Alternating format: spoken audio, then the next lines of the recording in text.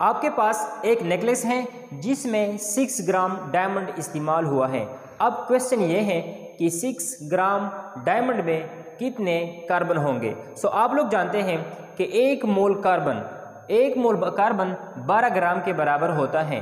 सो so, एक mole carbon 12 ग्राम के बराबर होता है और 12 ग्राम में इतने कार्बन के एटम्स होंगे। सो so, क्वेश्चन ये है कि 6 ग्राम कार्बन में कार्बन के कितने एटम्स होंगे? सो so, वो हम फाइंड करते हैं।